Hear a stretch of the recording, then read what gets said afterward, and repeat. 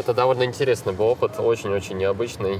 Проноситься буквально там в считанных сантиметрах до стен, поребриков, там чего-то еще. Когда я надел очки, конечно, я понял, что это совсем другое. Наверное, в какие-то моменты я себя чувствовал, как будто я нахожусь прямо сейчас в игре а, и пытаюсь э, пытаюсь делать то, то, все то, что я бы делал бы, сидя за компьютером. Это прикольно, очень необычно. На самом деле, да и как любые мальчишки, я играл практически только в гонки.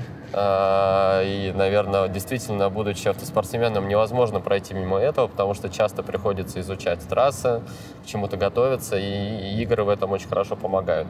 Я когда-то играл э, на одной из, в одной из игр э, на динамической платформе в очках, но опыт управления машиной и в очках, да, это, конечно... Да, вообще, наверное, я везунчик, потому что далеко не, каждому такой опыт представляется. Это необычно, это прикольно. Ну, кроме того, что это очень-очень стрёмно, конечно, можно сказать, что и страх был, и адреналин, потому что, ну, тебе нужно себе довериться, но сложно это сделать, потому что ты смотришь на машину со стороны, и при этом тебе надо очень четко и вовремя делать все движения рулем, педалями, управлять ей. Я очень давно занимаюсь автоспортом, уже больше 10 лет. Началось все, скажем, может быть, не совсем стандартно, но э, я просто пришел друзьями в картодром и все, уже не смог выбраться оттуда. Через некоторое время вместе с партнером мы организовали компанию, которая занимается подготовкой, тренировками там, и так далее. А, и я, по сути, всю жизнь свою развернул вокруг этого.